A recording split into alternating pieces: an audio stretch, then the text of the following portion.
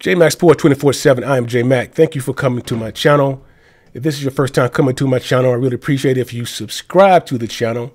It helps me to grow the channel and also as I move forward to put in some really put out some really good content about our Dallas Cowboys. And this is my first video of the Dallas Cowboys this new season here, 2023, 2024. Um, the reason why I have not done any videos, two reasons. One, I have not been motivated. Cowboys have not motivated me, have not been excited to do any videos because of how the season ended last year.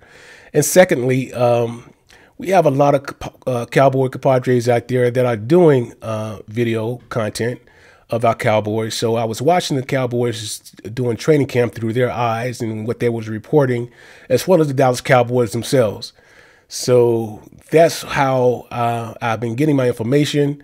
And so I was, uh, as, um, as always, every year, uh, excited to watch the first preseason game uh, and all preseason games of our Cowboys. But I wasn't Jack. And I don't think really anyone gets Jack to watch a preseason game. But um, when I watched the preseason game, I watch a preseason game to watch our sophomores and some of the rookies. More so, I want to watch uh, QB2 and QB3, what they look like. Should we have those, these guys in camp? On our team because at any moment we could lose QB1. So it was a lot of chatter last season about Cooper Rush. He went in four he he went in four games for our team for the Cowboys, and a lot of chat that he should replace Dak Prescott. I mean, a lot. And I I would imagine there's still a lot of those folks still on our bandwagon, uh, on the team. Our Cowboy uh, compadres still feel Cooper Rush is should be QB one. Well, from what I've seen, from what I've seen, from what I've seen, uh, QB one, I mean QB two and QB three are where they supposed to be, uh, where they where, where where where they should be. Um, I don't think uh, either are QB one, not just for the Dallas Cowboys, for any of the teams in the league. But there are sometimes you have a QB2 and sometimes QB3 sitting there waiting for an opportunity, maybe not on your team, but another team. Someone who's young, came from a small school, and may not even have that type of arm, uh, display that type of arm, but have the mind to play the game and need the right players around them. So, in my view, I don't think QB2, our current QB2 and QB3, should be in the position of QB1, just by from what I've seen in the first preseason game. Uh, I've seen, um, again, we're playing their twos and their threes and their fours.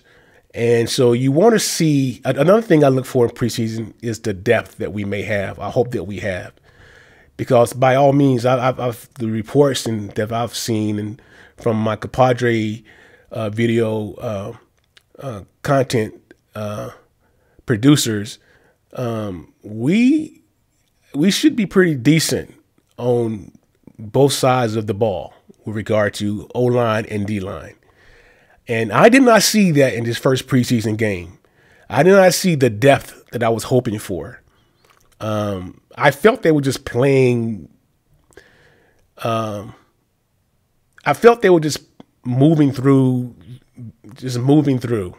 Um, playing through, not exerting themselves. That's just what it's just that from my position, that's what it looked like. Um, I didn't see it didn't feel like I was any player was selling themselves out to win, get a, get their name recognized. Um, um, I, I, recall when I played again. This is not close to the level they're playing at NFL collegiate.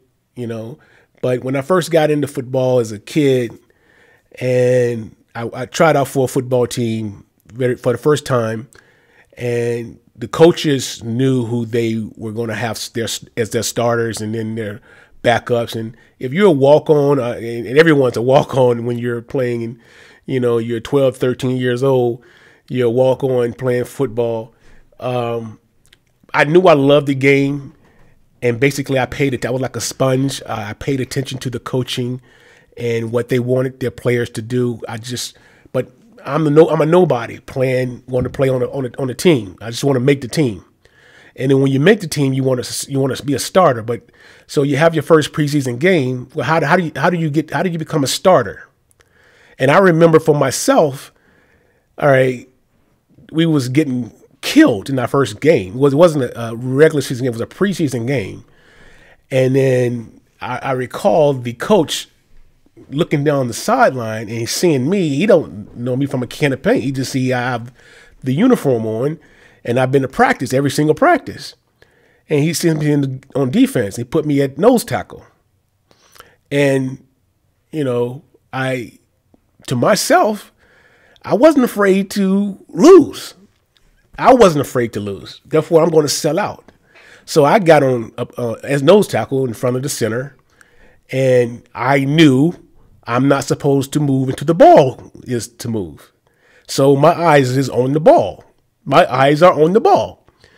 And um, so the center hikes the ball, and I hit him so hard. I hit him so hard. It, it must have hit the back of his butt or something because it didn't get to the quarterback. And again, in, in those days, the quarterback is kind of under the center. There wasn't many shotgun in those days. And not only did the ball fumble, I recovered the fumble. I recovered the fumble. And I saw that the ball was a hot potato, and that's the term that we use. I'm, I'm going for it. And I recovered the ball, and then I nailed someone who was going to the sideline. I went into the game. No one knew who I was, really. They all knew who I was going to the sideline. And then, to my surprise, when the starting day roster was put out, I was placed at right defensive end, starting. I mean, I, I was so. Again, this first preseason game is a time for you to make a name for yourself. Just to say you're not just trying to make the team; you want to start, and that may not happen, but you want you want to be a regular second, third down player.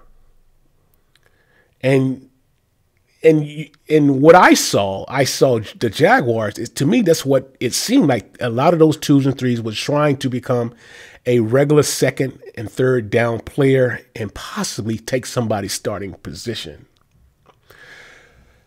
And then I'm going to move over to the coaching because I'm, for the most part, it's coaching. When you see a second, a third year player fumble a punt return,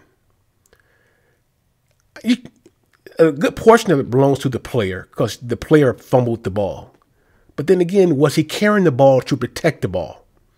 And if he wasn't, then that's coaching. Same for when you catch the ball and you're in the red zone and you're trying to break tackles to get into the end zone if you're not protecting the ball as you're trying to break a tackle, if you're not carrying it correctly, that is coaching.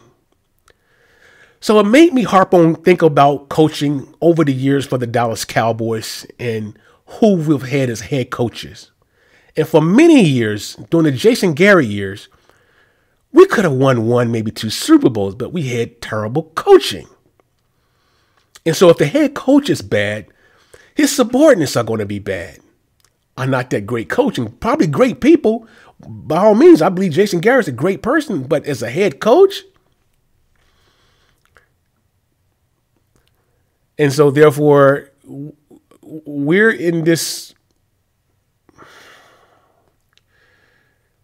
year in and year out, and continue to be disappointed since what 1995. Um, and we continue to have these bad coaching and not lighting the fire into the players and not teaching the fundamentals. And I talk about fundamentals, I always want to go back to basketball. Now, have my best friend, my best friend, like so many other people, love the glitter, the excite, the excitement, um, the slam dunk. I don't give a hoot about. In my, if you're in the NBA I, if it's not hundred uh, percent close to it, everyone can dunk a basketball in the NBA.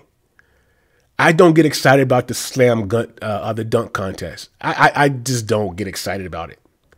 When it fir- when it first started out years ago, yeah, when you had somebody like Spud Webb, you know, his if his size winning, you know, but for since since Spud Webb, I know I, I don't get excited about dunking the basketball. What I do get excited about is shooting a free throw and hitting a free throw. You uh, when a chest pass is required and doing a chest pass and leading a player, your your teammate, to the position to catch the ball, gather the ball in one motion and shoot. That's fundamentally sound to me. Using a backboard when you're shooting a jump shot, when you're at an, at an angle and not trying to shoot at the basket, that's fundamental to me. If you're if you're super fast, you have speed, but yet you can't control the basket uh, of the football, and you can't corral the ball and protect the ball as you should. What good is speed? What good is speed and strength if you can get to the quarterback and you can't get the quarterback on the ground? or, or create havoc in some degree. What good is? Why do you get excited? I, I, can't get excited about speed, or because you're able to leap and jump to the moon and slam a basketball. I it doesn't doesn't you know it it does. I was never and have never been a Boston Celtics fan, but during the '80s, the Boston Celtics were fundamentally sound. Period. When when you are fundamentally sound, you win games. Forgive me, I got something flying around down here, and it's really irritating me. And I want to take his life, and I'm hoping to take his life at some point, and maybe doing this video. In any event, um, coaching. Yeah, the, the the players make the plays, but still, coaches still got to coach. I saw Neville, Neville Gallimore in the fourth quarter jump off size.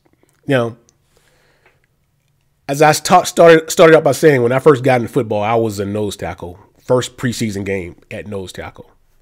I knew the ball was in front of me, and I do not go forward until the ball is moved. It's right there. I can see it. So we have, I forget how many years Neville Gallimore's been with the Cowboys now, but this is not his first rodeo. And then it made it dawned on me, he's in the fourth quarter. This veteran. I mean, we got this guy. He's supposed to be a major run stopper for us. And he's playing in 2023 24 in the fourth quarter in the first preseason game. And so, and I think on that particular play that he jumped off sides, I think it may have been third down, so it extended uh, the drive for the Jaguars, and I think they may have scored. I can't really be sure, but nevertheless, it did extend the the, the drive. Um, so he is. I, I and, and if, if if his if his salary is a liability, I can see him going before the first game of the season. I, I can see that. Um, an, an, observation of mine, I noticed that the offensive line was being bullied, um, playing somewhat passive. That's just me, and I, I, maybe it's the first because it's the first preseason game, but still, it's the first preseason game for the Jaguars as well. It was their first preseason. They're playing number twos, number threes. They seem a little bit more aggressive than us. Maybe they got better coaching than we do. I don't know. But it's but again, I'm not, you know, I, I, I did not get excited off season, um, doing training camp. I wasn't excited, you know, um, but I, I, I, I, am always watching the first game. I'm always watching as many preseason games as I possibly can because I want to learn as much about the Cowboys and what we're going to have. But I really look for the depth, and I look, want to look at QB two and QB three, what they look like. Um, I also noticed that I don't believe our defense caused the Jaguars to punt the ball once once. Again, that goes back to depth. What what type of depth do we have? So I guess it's really hard to evaluate in the first preseason game.